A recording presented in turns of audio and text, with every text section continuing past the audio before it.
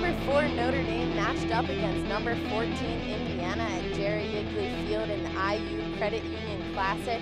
Indiana dominated first half, lots of missed opportunities for the Hoosiers. Forward Femi Hollinger Janzen hits the post on a header. Then Tanner Thompson nails the crossbar on an outside shot. About 10 minutes left in the first half, the Irish gained some control. Senior midi Patrick Hodan setting the pace, demonstrating exceptional ball control as he drives the. Notre Dame took a few corner kicks but were unable to finish. Score at half, 0 to 0. Notre Dame came out fast in the start of the second half, but ND unable to convert on the fast break. 10 minutes to go in the second, a pretty give and go between Pat Hodan and Jeff Farina, but Hodan just a touch offside.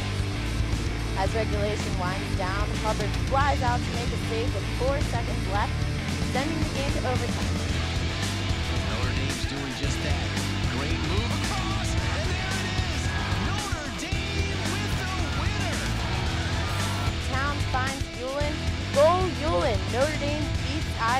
1 to nothing. For Fighting Irish Media, I'm Hannah Hartman. Go Irish.